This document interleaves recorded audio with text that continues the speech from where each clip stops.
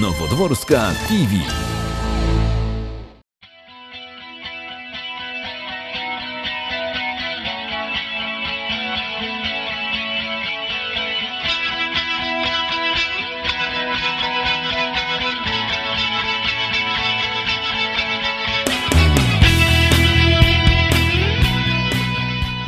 Na przekór wszystkiemu Nowy Dwór Mazowiecki powoli się rozwija. Nowe wiadukty, lotnisko Modlin, modernizacja kolei to tylko część wieloletniego planu inwestycyjnego. Ważnym elementem tej układanki są inwestycje prywatne.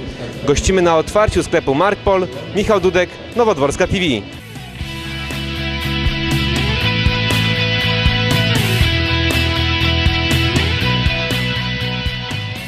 W sobotę 18 lutego został otwarty pierwszy w Nowym Dworze Mazowieckim supermarket sieci Markpol. W nowym supermarkecie na klientów czekają soczyste owoce, świeże warzywa, chrupiące wypieki, okazały dział ogólnospożywczy, szeroki asortyment napojów, a także pachnące świeże wędliny.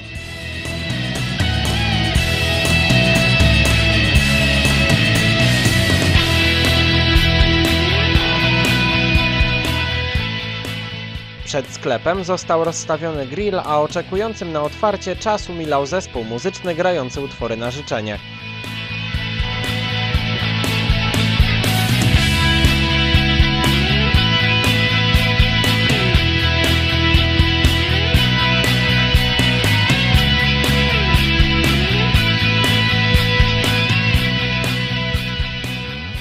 Sklep ma powierzchnię 1700 m2 oraz parking na około 100 samochodów. W nowodworskim Markpolu znalazło zatrudnienie 55 osób.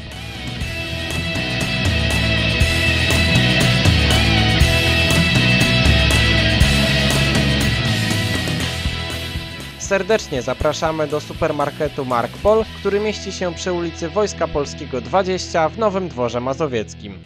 Nowodworska TV.